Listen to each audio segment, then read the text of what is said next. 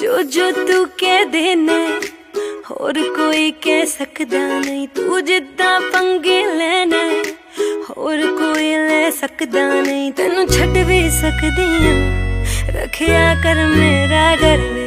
ਤੂੰ ਕੱਲਾ ਹੀ ਸੋਣਾ ਨਹੀਂ, ਜ਼ਿਆਦਾ ਨਾ ਬਣਿਆ ਕਰਵੇ ਤੂੰ ਕੱਲਾ ਹੀ ਸੋਣਾ ਨਹੀਂ, ਜ਼ਿਆਦਾ ਨਾ ਬਣਿਆ ਕਰਵੇ ਥੋੜੀ